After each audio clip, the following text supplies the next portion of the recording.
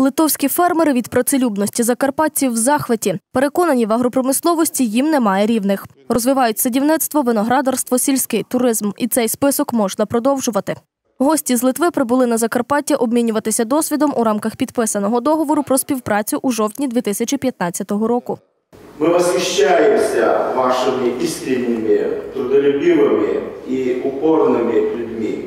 Втім, литовські та українські фермери будуть не лише обмінюватися досвідом, а й розвивати економічні і культурні зв'язки. Украина издавна славится как мировая зерновая житница, но мы сегодня по программе будем, будем иметь возможность и ваш опыт принять по выращиванию овец, оленей, по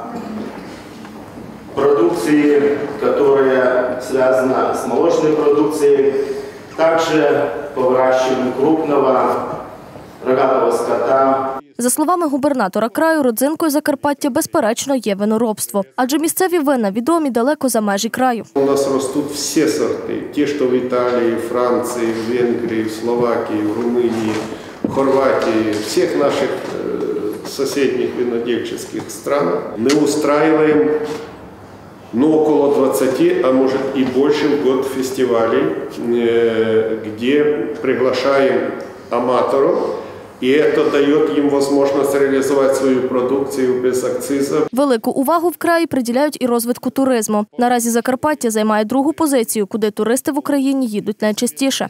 Закарпатье на сегодняшний день второй год подряд э, по количеству посещения туристов обгоняет Одесскую область.